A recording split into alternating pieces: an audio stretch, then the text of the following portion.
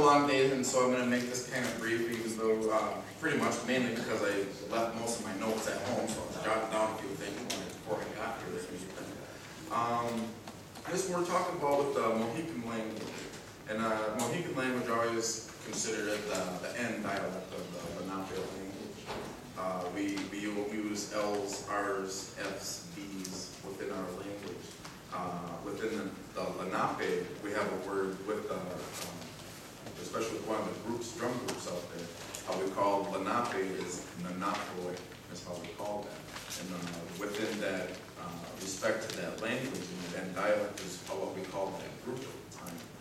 Um, language, when you think of what is language, you know, it's, uh, it, it's words, gestures, utterances to each other to, to get an idea of what, to pass on ideas and thoughts from one person to another. And I've been taught when I was younger that uh, our ancestors have always left things on a path for us to find. And when we come across these things, it's up to us to pick those things up and utilize. them. If we don't utilize those things and we walk down the path a little bit further and we turn around, those things may be gone, and gone forever. And I consider language as one of those things that has been left on the path, and it's very evident in a lot of the manuscripts and documents that have been put down for the last four hundred years from, for all of our people, that have been written down in, in, in missionary, uh, statements to, uh, land deeds and all kinds of, it's all over the place. Growing up, I never knew that there was any Mohican, Munsee language, any kind of language that was considered ours. I never thought there was anything, just a few words, names of a few streets that we live on back home and such. I was pretty disappointed. And I'm glad to have my men- my mentor, my first language teacher, Molly Miller here, uh, who taught me my first Stockbridge words ever. You know, I still have some of the original sheets from, it seems like two hundred years ago we were doing them I'm classes. just L. But, uh, it, it, it's, it's, it's been growing a lot. Uh, I like to look at things in a more spiritual side of things, and I don't know if many of you have understood the, the prophecy of the white buffalo, when it was born, and how many of these things are coming back to our people, and I've seen that within our community, language and culture, and it just seems to be exploding, and to be proud to be Native American, where some of our elders remember a time when they weren't proud, and they still feel a little funny, some of them going to such, just because they were made to feel so bad about language and culture and dancing and such like that from a long time ago. And it was very sad for me to see that, because we always grew up wanting those things, you know, wishing we could have them. Now, an example on how these things have been set on a path are, like I said, are these words, these letters, these uh, land deeds that have been written for a long, long, long time, for the last few hundred years. The only problem is, is that these were written by non-tribal linguists, is how they were written. And the problem with it is that you open these books up or these manuscripts up and, and it, and it looks completely like gibberish, you know, how they write it down and how they tell you, you know, you're supposed to learn this language and the right, the proper pronunciations and such. But I've noticed that I've, I've looked at at least four or five different linguists' interpretations of our language, and there's four or five different interpretations on how they spell it, how they write it, and how they pronounce it. And they tell us for, for all these years that our language is dead, that the Mohican language is dead, and that we have no, no need to bother learning that language, we should go on and learn something else that's more useful. I've heard that from one of the linguists that was putting together some of our language. I won't mention his name, but, uh, it, it's kind of an insult to me and to my, to my people, to our, all people, that they tell you that your language is dead. I went to a Algonquin language seminar probably about six years ago in the Pequot Reservation. And I listened to, uh, a woman, Jessie Littleville, uh, or Jessie Little, I forget her, her real last name. But, uh, she made something, a point that was, really- that really struck true to me, and she said, if one word exists in your language, your language is not dead. And I really took that to heart, because we have words such as uh, which is actually uh, uh, an evolved word of Kunamanse, Kulamalse, from uh, Lenape language, which is act- uh, is actually the evolved Mohican version of that word. Um, We have words like Mohicana, uh, people of the waters that are never still. Uh, We have Mohicana Road, right up on our reservation. We have words. We have words that we don't understand, that we've been told as children. I, some of you, I mentioned those words uh, a few years ago at the last gathering, such as uh, and kachiwagi, which we call these, which we call little kids, you know, the, uh, I, I, the only thing I, I've ever heard that really translated over to is kind of like how we call them like a little, a kid, like a little, a little kissing or something like that. You know, just a little playful child, you know, so we call them kachak and kachawagi. Um, I really look at the language when it was set aside, you know, by these linguists, you know, and by other people. The people knew that it was dis- disappearing and that the interest was fading. And so they knew that they had to put it down in something. And Within Moravian missions and missions at Stockbridge, they started putting some of these words down, and some of these uh, linguists started putting these words down as well. And basically, what it all is, is you look at a flower that casts seeds, the language is seeds, and they've been lying dormant for many, many, many years. Now, when the flower casts its seeds and the seeds sprout, it's not the same flower. But basically what it is, it's hope and it's promise of renewal of what happened, what came from before. And that's what I look at this language, the Mohican language, is as a seed right now. And in order for them seeds to sprout and to bloom and to flourish, you need fertile ground. And that's one of the problems that we have within communities is, uh, you know, people, they want to learn a word here or there, but they don't want to learn, learn the language. There's not a whole lot of people who want to get down to the nitty gritty and learn, you know, the inside and out. They just want to say, well, how do you say hello? Or, you know, that's, that's nice, you know, but for those of us who really are deep, digging deep into the language and trying to find as much as we can, that's just not good enough. It's just not good enough to say hello, goodbye, how you doing? You know, you guys say, well, why do you say this? How do you say that? Um, one of the things uh, Molly would tell us that uh, some things that you can say in Native American language, it's only funny in Native. But if you look at it through the English language, it's not funny, you don't understand. it. And it's, it's, it really rings true, and I, I ask myself, kind of like how Bruce was saying, like, oh, what am I doing here? You know, I'm, I don't have any degrees, I don't have any credentials, I don't have the higher education, I'm usually like one of the guys that are always see along the highway digging a ditch, you know, but I love language, I love Native American language, it's always been something that's really been a burning passion of mine to know who I am, well, what is language? Language is, tells you who you are, it tells you where you've been, it tells you where you're going, and above all, it also tells you who your relationship, relations are. I remember coming, either, you go to powwows, I came here to, a couple years ago for the last gathering, I've gone to the Algonquin uh, conference, and I listen to people talk, different nations, different people, and I hear a lot of our words within their language. And I said, these are my people, these are my brothers, these are my sisters, these are my cousins, all these people I can tell within their language who I am related to. So language is, it's just not saying hello and goodbye to each other, it tells you a whole lot more about yourself and your people and where you're going. And we have to be careful with our language and where we're going. I, there was a lot that I had planned. I, I sat on the language and culture board for about six years and trying to figure out what are we gonna do? How are we gonna get this language together? Some of us just wanted to throw all words together and publish a book and get it done, but I, I knew it wasn't right at that time. Timing wasn't right. It wasn't time to plant those seeds. Ground was fertile, but we didn't have the right water. And I knew there was a lot of mistakes. Even reading through a lot of the old manuscripts and such of the Mohican language, I can see a lot of mistakes that the linguists put down. Whether it's a, a mistake where somebody's talking in first or second person and it's written down in third person, third person plural, animates, inanimates, all that kind of stuff. You know, and you see a lot of mistakes that they didn't understand. They were just writing things down, whatever they were being told.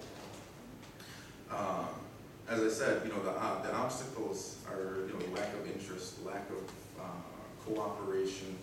The, I, I'll take that back, not really the lack of interest. There is interest, but there's just a lack of interest in trying to get the job done. You know, and the linguists that tell you that, tell us that our language is dead, and I, I do not believe. Language is not dead.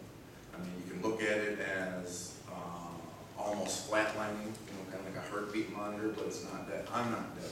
My children aren't dead, our nations are not dead. We don't have a dead language. It's very, very, very low on that scale, but, like as she said, if one word exists, you'd know your language is not dead. And I believe that, I believe that to my heart, and if I thought it was true, I would have gave up on this stuff probably six, seven years ago, before I started. But I- all I wanted to do at that time was to say, hello, how you doing, goodbye, good night, are you hungry, are you sick, are you uh, feeling, how you feeling today? You know, just real small, small talk. But the further I got deeper into it, the more I wanted to bring it more out. The problem with the language of Mohican languages, is it's not complete, and it never will be complete, there's so much missing from it.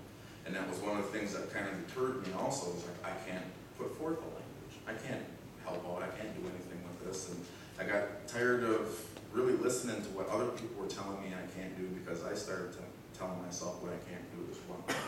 But I got the idea maybe two years ago or so that I'm not gonna listen to people tell me what I can't do. I ain't gonna listen to people telling me that I'm dead, or that my people are dead, or our ways are dead, or I should just go learn Menominee or Ojibwe or some other language that is being spoken fluently, because that's not our people's language. Any kind of language that would be, I mean, whether you're looking at another Algonquin language, or if you're looking at, uh, uh, Spanish or English or anything else other than our people's language, just wasn't gonna fit for me. I had to find out our people's language. We talked about talking with the ancestors, how did the ancestors say this? How did they go about their ceremonies? How do our elders, what do our elders think? What do our children think, children think? What does everybody think? We go out to the community and we talk to people on everything. Some of the elders say, ah, I'm too old to learn that stuff anyway. You know, it doesn't matter or whatever, or some of them just want to know how you say hello or goodbye. Some of the kids, they kind of want to say that, say the same thing. I want to say hello, goodbye, or whatever, but they don't want to sit in a classroom all day learning stuff, you know, because that's just not how we as Native Americans learn. We're out in the field, we're out walking around, looking at things, pointing at things, talking how things go. We don't sit in a classroom all day long and, well, we're at school, we do, but we all know how bad that can turn out. And We're Native Americans. We have our language. We put it down. Our ancestors knew that it was fading. And they had to write it down. They had to have linguists come and write it down. They put it away. They put it on that path. And they had a hope that one day somebody will come along and pick this up again. That somebody will pick it up and have an interest because they looked around at that time and the interest was fading, mainly through missions and, and the, uh, the Christian era and such. And it, to speak Native American was to be a heathen, you know, so it wasn't popular. But they had hoped one day by putting it down, somebody's gonna pick it up one day and carry on with it. And I felt that I was one of them people that came across it. I came across some of these seeds. I came across a lot of obstacles. And it almost put me down to where I just didn't wanna do it anymore. And I had to think to myself, you know what? I'm not dead. My family's not dead. This language has been put down. Now, who are we gonna trust to bring it back forth again? A lot of books have been written by linguists, not- non-Native American, non, uh,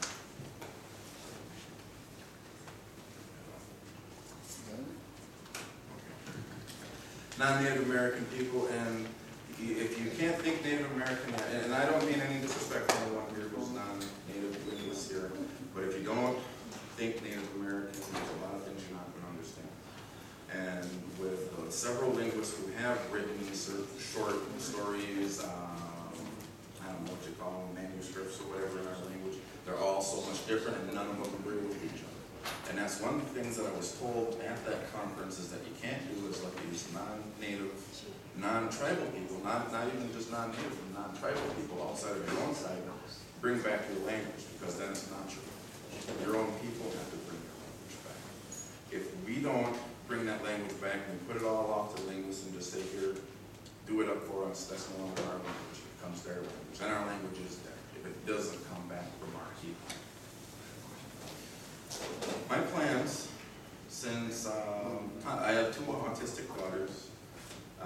stay at home dad. I have uh, an online business in which I take care of, so I, I, I know it's just an excuse, but I don't have a whole lot of time for language right now. But one of the things that I've been outlining right now is a book. I figure to myself, you know, if I'm not that person, if I'm not one of these first people that can plant these seeds and get them growing good, I'm going to put my, my little bit of part into it. The only thing I can do is figure is I'm going to write a book. I'm writing this book as observation of, of the Mohican language through the eyes of a Mohican Indian, through a Munsee Mohican Indian. It would be the first book written by our own people, of course, with uh, the uh, observation of Mali and Celtic Mali and the language and culture board. But it would be the first book written by our people, from our people, for our people. And all the things that we need to put down. Because a lot of these linguists, when they write it down, we don't understand it. I mean, every, all your, every average, average everyday people who want to open up a book and learn things and they, open up these books and it's a linguist book and they're speaking English, but they have no idea what the heck they're talking about. You know, the neuter verbs, um, first, second, third person, uh, animates, inanimates, and such like that, and conjugations and things, and it really turns a lot of people off.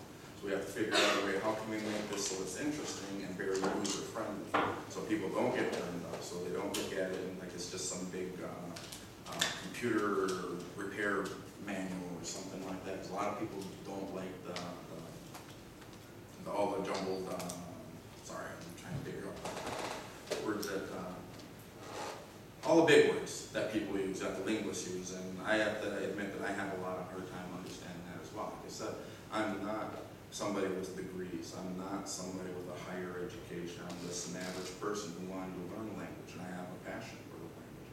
I want to learn our language, my language, the Stockbridge Munsee Band of Mohican language, whatever we're going to learn on our reservation, and how our, our, our ancestors spoke, how I can pray to my ancestors, I want to pray to my ancestors, I want to walk down the street, and I want to say hello, goodbye, how you doing, people, and carry on a conversation with our own people. And leaving, and like I said, I mean, no disrespect to anybody who might be a linguist in the room, is that we leave it up to many linguists that tell us that our language is dead, and that we should just move on to another language, and I don't believe it. I'm not dead, my children aren't dead, I have these seeds, and even if I can't move on and sprout these up myself, I'm gonna do my part. Because when you look at all of these, we got hundreds and hundreds of different works with the Mohican language. I look to condense a lot of it or make it more of a, a user-friendly guide to all of those works that are out there to help our people, that they can open up and just say, okay, we're gonna discuss, you know, short things. Uh, we'll go with like, uh, children's coloring books or, um, just, um, small talk, you know, greetings, um, just things you can see around the house, see around out, you go outside and things like the trees, the, the, the sky, the grass, the earth, the um, cars. We need to make up words for cars. We have no word for cars in Native American. What are we gonna do? I don't know. And like, getting back to like what we were saying before, I don't know- really know why I'm here today. You know, and I'm looking, I guess, for support, maybe. Um, looking for ideas, you know, what I can, what we can do. Um, and even if I get those ideas and support, uh, to, to implement those ideas and that support as well. Because, like I said, I I leave here, I'm gonna go back to, you know, ditches again. And this is gonna have to be something that be put up to highly educated people within our tribe that can handle this kind of workload and it's gonna take years. And that's one thing I didn't wanna do, is that we could have just went and just wrote out a whole bunch of things, made a small dictionary, but I knew it wasn't gonna be right. It wasn't gonna be correct, the spellings wouldn't be right, the, the, um, the conjugations probably wouldn't be all right, pronunciations probably weren't gonna be all right. So I guess it was just kind of sitting on my hands and waiting, waiting for the right time to understand, okay, how am I going to do this? Because if I do it and we do it wrong, it's just gonna be as, as, uh, as all jumbled and, and- and horribly written as, you know, the dictionaries that the linguists have written for us. We have a book that's called, uh, written by Carl Masthay. It's a Mohican language dictionary. And most of the people that I talked to who have read it said they just won't understand it because that's written by a linguist. And with all the linguistical terms that he uses and uh, references, referencing back and forth from Algonquin to Crow Algonquin and other Native American tribes and such, it, it just sends you through a maze of confusion. And that's something that we can't have, that's something our elders don't want to look at, that's something our children don't want to look at. Now, if you're, if you're a linguist or you, you're really good with uh, linguistical terms, you can understand it a little bit, but most people on our reservation aren't. So that book doesn't get read very often. Um, I know there's a lot of uh, language revitalization for the, the Munsee language, which is going really good and going really great. But I also, there, we're a tribe that has several um, mixed Native Americans, but the main body is Stockbridge Munsee. The Stockbridge Indians are the Mohican, or the left remnants of the Mohican Lane uh, uh, nation. And I really feel that it's important not only for one language, but for the other language, so everyone has a choice to understand whatever they want to learn, however they want to do that. And who knows, maybe 20, 30 years, that language is all going to be wrapped into one, and that'll be that Stockbridge Munsee Mohican language. Um, I don't want to put too much on my shoulders because I know I can't do it. I can't do it all myself. I want to be able to live my life and be able to pray in my language, talk to people. But the problem is, is that I just don't have time. For, there are talks of other people who want to try to pick up where I left off, but there's some works going on today that are, people are trying to put certain packets together and stuff, but it's, it's just as confusing as the old stuff. And it's, in my eyes, it's just not very worked out for the Mohican language. Um, and another thing is, people aren't coming together. They're- They're banding off and doing it all on their own, you know, all over, and some of them are in Michigan, some of them are on our reservation, some of them are down in Green Bay, a little ways down the road, and, but they're not all coming together. As a people, if this is ever gonna come back together, if we're gonna unfreeze these words out of those manuscripts and books, we all need to come back together. Otherwise, what I've learned on my own, and what I start to pray, and how I start to speak, that's only my dialect, because that's what I'm. And I gotta go out to the rest of the people and say, well, how would you say this? How would you say this? How can we all say this so we understand each other? Now, I got hung up on saying, people saying, well, that's not the original way of how you were supposed, how people said it back in the day. Okay, well, how would we say it? Well, we don't know, it's written down, but we can't understand what kind of orthography was, it was written in, whether it was English or German or however these people, uh, whoever wrote it down, but their mindset of how they write down their, their penmanship, or not penmanship, but, uh, writing orthography. And so I decided, well, to me, on my own self, I'm thinking, well, if we put out a word, you know, that's written down, we have no pronunciation, we can't go to our brothers and sisters, our cousin tribes and find out what kind of pronunciation it is. We all have to get together in a group and decide how to say that word. Okay, and I know our, I know our ancestors and our spirit guys, they're all in that room understanding and listening to us, and we come in agreement on that word, they're all gonna know what we mean use that word. So if I say a word to you that is a little bit different, say how it was spoken three, four hundred years ago, as long as you understand what I'm saying, that's language, it's communication, it's talking to one another, transferring those ideas and thoughts from one person to another. And so that's one of the, the um, obstacles that I, I, feel that I've gotten over, and I'm hoping that this book is gonna help all. This book that is just basically, I'm gonna write it in, basically like a children's book. So it's so simple, so easy, leave out all the big linguistical terms and such, and, but the language isn't complete. And hopefully maybe 20, 30 years down the road, somebody can pick up and go on with the whole rest of that business. I really don't have the shoulders for it. Like I said, I have two autistic daughters, I have an at-home business that I take care of, and I've almost dropped off the face of the earth of the language um, ship. You know, and, but it's still a burning desire in my heart. And I wondered, you know, why am I here? What am I gonna do? You know, what, what's this purpose gonna have, you know? But, you know, I, I, and I got thinking about it and I listened to some of you guys speak, you know, and talking about the spirituality of it all, and our elders and our children and our families, and that reminds me why I am. It's for the spirituality, for our elders, our ancestors, our, our families, our nations, why we need to keep this going. Because if we do let it go, if we do pass down that path and not pick up those things that our ancestors put on the, end of that path for us, it will be done. And we will be dead, we will be dead as a people if we don't pick those things up. The language, the culture, the ceremonies.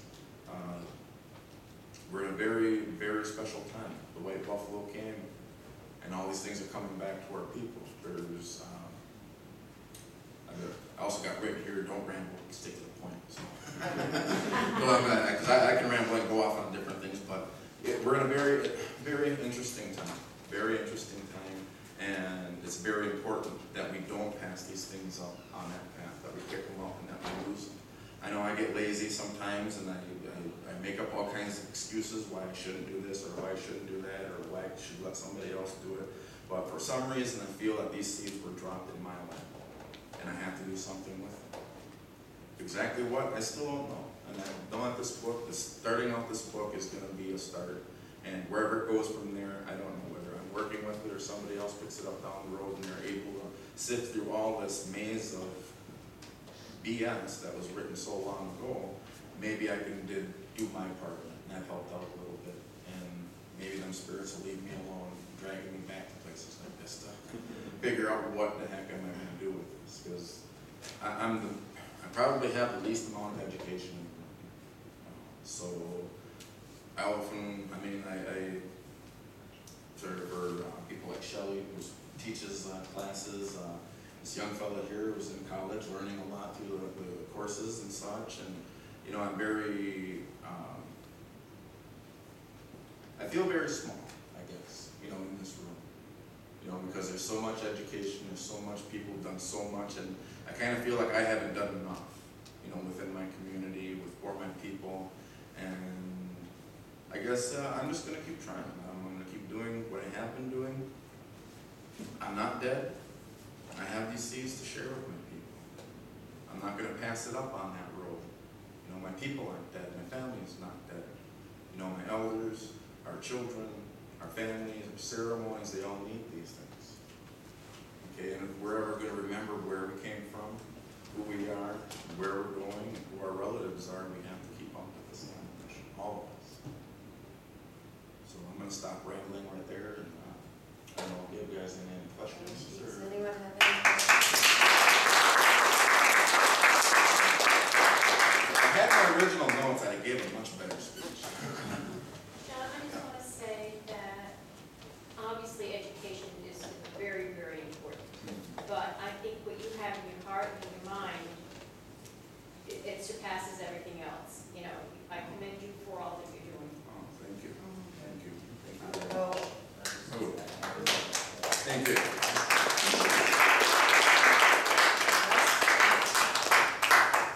Um, so that concludes the conference to the- for today. We're gonna take a little break. Some of us go back to our ho- hotels. I guess dinner's to be served at six, right, Dorothy? Six o'clock? So that gives us uh, a little less time than we normally expected. Um, so you can take a little break, a little refreshment, come back. Uh, one last thing I just wanted to after having listened to everyone speak today, is, uh, one of the topics of conversation is speaking of Lenape as a living language. And it seems to me that Lenape is the living thing in the room. We think we're working on the language, I don't think so. I think it's working on us. I think it's alive. I think the ancestors are behind it. And I don't think there's a person in this room that wasn't meant to be here for some reason. I mean, we all know that. Things come together for a certain reason. And that means the students who's, who's, who are, uh, here to work on the language and who are compelled to work on it. I really believe that Lenape is a living language, and all the and as well, and that it is working through us. And so keeping that in our hearts, I think will also help us move forward. Okay, drumming circle then at seven o'clock, dinner at